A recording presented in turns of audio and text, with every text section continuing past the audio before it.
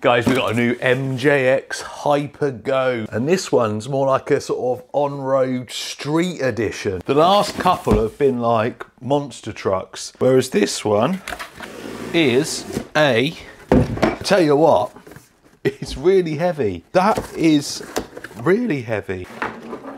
Oh yeah.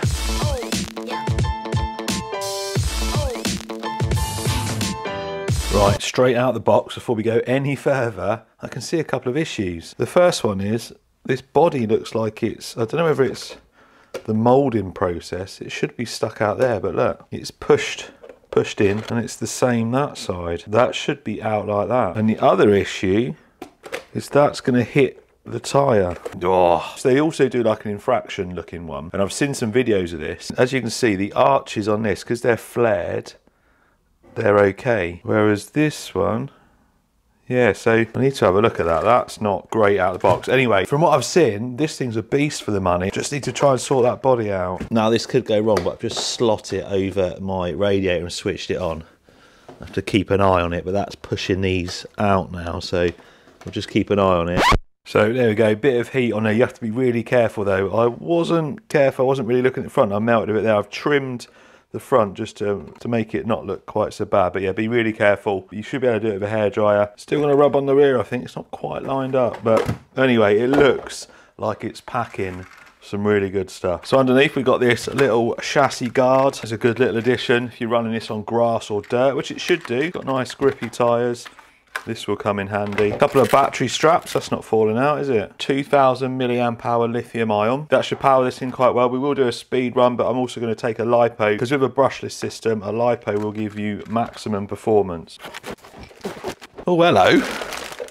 I didn't see all this in there. So this one comes with another battery. I'll leave a link in the description where you can get them. I don't know if they all come with two batteries or whether you can choose a two battery version. Also comes with a charger. Pretty good because it's a one and a half amp output. So uh, it shouldn't take too long to charge this battery up normal Dean's connector, wheel wrench, screwdriver, guess that's an ESC fan. It's already got a heatsink and fan on the motor. Now you get three sets of wheels. You get a rock hard drift set, then you get more of like a dirt rally one. Compound feels a bit harder than what's on there. These ones look like they're more mixed terrain, sort of on and off road. I didn't realise it came with all that. You also get a set of instructions. There's your transmitter, is it four channel? it's a three channel. So you've got throttle trim and steering trim, and then you, you got a 70 and 100% throttle there. And some stickers to put the lights on your body.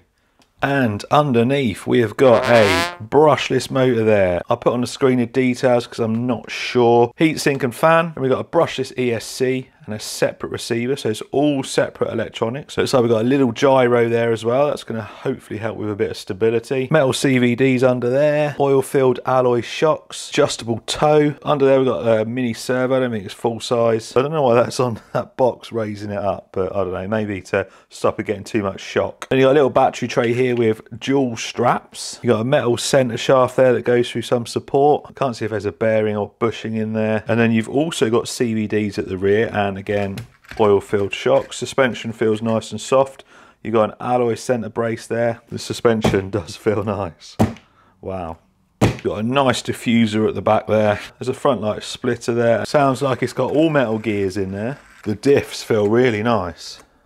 Yeah, really nice. So the front feels like it's a bit thicker than the rear. A bit thicker in the front's going to try and keep it sort of going straight. So that feels like they've actually thought about that rather than rather than just putting random amounts in. That front is thicker than the rear, which, like I said, I think is how it should be. Now, something slightly disappointing. It is a metal chassis, a nice flat metal chassis, but crosshead hardware, but not only that, it just doesn't just doesn't look like it's been put in very well. So slightly disappointed in that, but the chassis itself, and for, like I said, for the money, it looks like it's going to be pretty good. Right, we'll get the stickers on the body, we'll put a battery in, see what sort of wheel speed and steering we've got. We'll take it, see how fast it is, and then, well, take it for a rip around. And I might put these plastic ones on, although, although probably be better on carpet with that hard plastic. Right, battery's charged. There's loads of room in this battery tray, which is good news because we're going to speed run it on the stock battery. Then I got this little LiPo, and then we got this big chunky 3S, which fits in the battery tray. Come on. Right. Full power, obviously. Steering feels pretty quick. Hang on a minute. Whoa! Lights at the front. We've only got one light working. Oh, oh, loose connection. That might go out again in a minute. Oh no! No, we got turn signals. We don't like turn signals. Although they don't come on straight. Well, they kind of do. What a lovely day for a speed run. Well, straight off the bat, I can tell you it's super smooth on the throttle. We are on 100% speed. Doesn't look as fast now. It looked like it had loads of wheel speed on the bench, but oh, straight as a die. I had to trim it up a tiny bit, but lovely. Here we go. Fast pass. I'm confident I can keep it. Oh, look, not even a hand on the wheel here. Didn't even have to have a hand on the wheel. Stock battery, 44k. Is that in miles? 27 mile an hour out of the box. Not bad. That's gonna do 30 on a lipo. Lipo power. Definitely feels like a little bit more punch. Look, no hands, easy. Oh, it slides well. this is too much fun. Oh, body. That's got have been 30.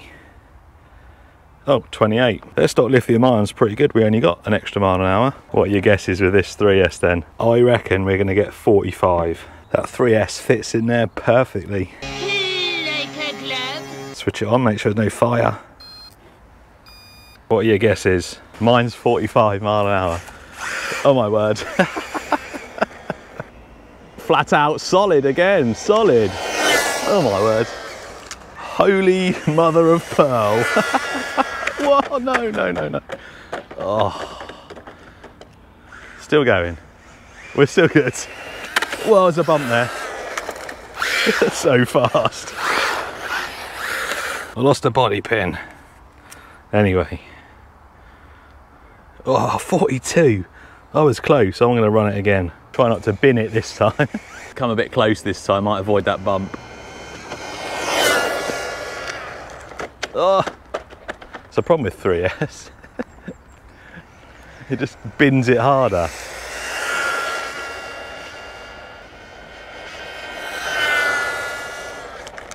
Brake, brake, brake. Whew. Well, at least we found a smooth bit of road. It's just so planted. Even on 3S. Just rips straight. Oh, not quite 45, 42 mile an hour. This thing's gonna rip on the dirt. Look what I just found. Let's go. yes, now we're talking.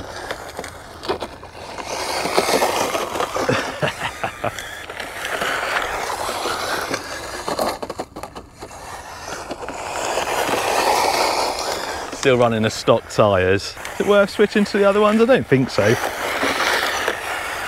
Now this is the perfect terrain for it.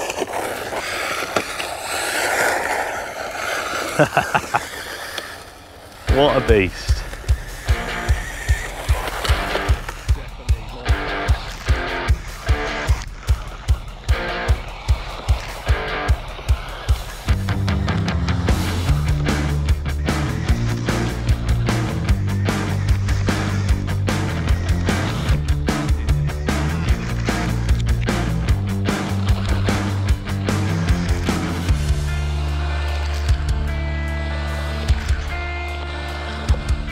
So not only did we find a nice bit of waste ground to do a bit of rallying, I also found some smooth tarmac.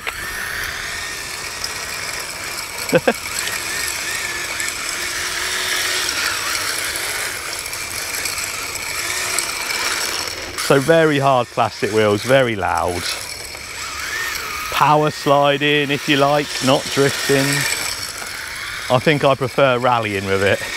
Definitely prefer rallying with it.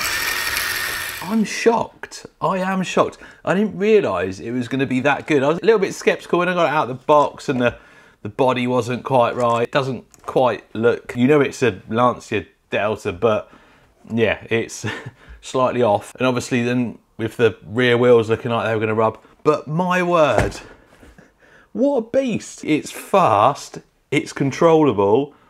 Even on the dirt, it's controllable. You can drift it.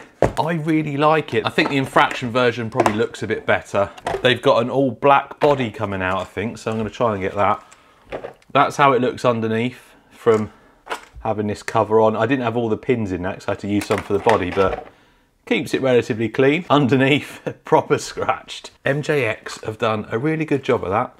Links in the description. I'll see you next time.